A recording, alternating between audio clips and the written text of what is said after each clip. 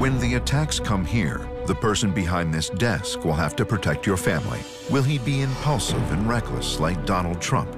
Will he have voted to dramatically weaken counterterrorism surveillance like Ted Cruz? Will he have skipped crucial national security hearings and votes just to campaign, like Marco Rubio? 27 generals and admirals support Jeb Bush because Jeb has the experience and knowledge to protect your family.